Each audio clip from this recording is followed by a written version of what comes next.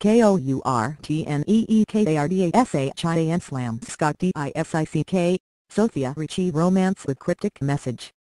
Kourtney Kardashian has given the impression that she does not approve of Scott Disick new romance with 18-year-old Sofia Richie, it has been alleged. The reality star took to her Instagram page, just days after Scott and Sofia were spotted kissing, to post a cryptic message above the photo that sees Khloe and Kylie Jenner embrace their sister with a tight hug.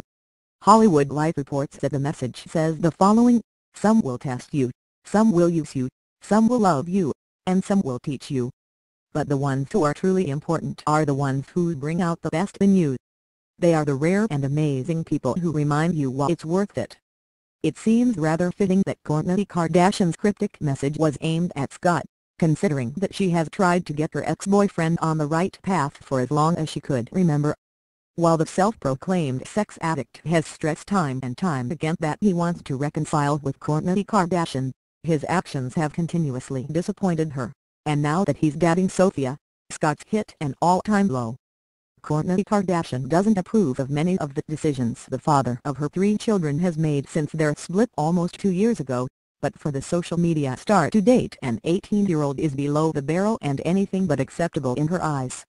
It's been previously said that Kourtney won't interfere in Scott's private life, but she certainly doesn't respect his new relationship and most definitely wouldn't want his children around Sofia. And that's not because the mother of three doesn't like Richie. The aspiring model actually happens to be a close friend to Kylie Jenner, so it's not as if Kardashian has never met or been introduced to Sofia before.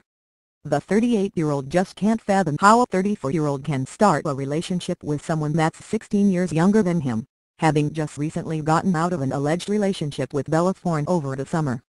Kourtney Kardashian has made it known in the past that she is trying to stay away from Scott's drama, letting her main focus be on her own relationship with Younes Bendjima and raising her children the right way. Do you think the Instagram photo is about Kourtney Kardashian's ex-boyfriend or is it just a coincidence after all?